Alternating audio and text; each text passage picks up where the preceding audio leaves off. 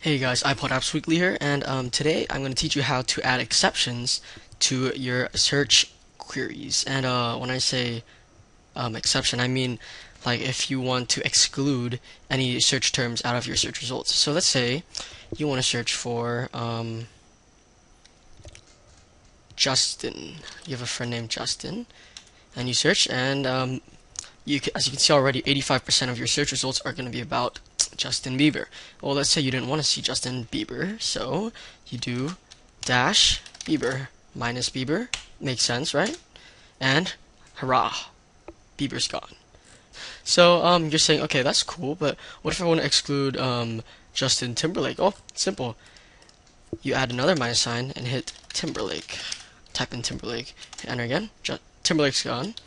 And um, yeah, that's basically it. Um, the minus uh, symbol is an operator that actually cancels out, I mean, uh, excludes and hides any any search search results that, that match the query in, behind the operator. So um, it actually uh, is pretty useful when you're searching for things, and uh, it also works on YouTube.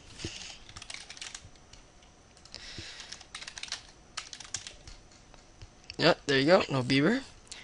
Gmail. Let's say I wanted to search for I don't know Davis.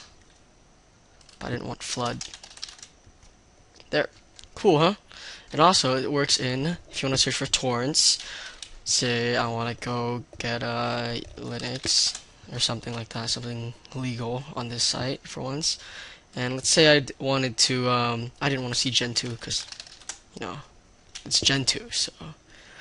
Okay, and Gentoo doesn't show up, so it looks like it works. And um, uh, yeah, and that's basically it. And if you have any questions, put in the comments below. Um, if you need me to do anything else or ask for help, go ahead and message me. But whatever. Um, and if you like this video, please subscribe. And um, yeah, this is iPod Apps Weekly signing out.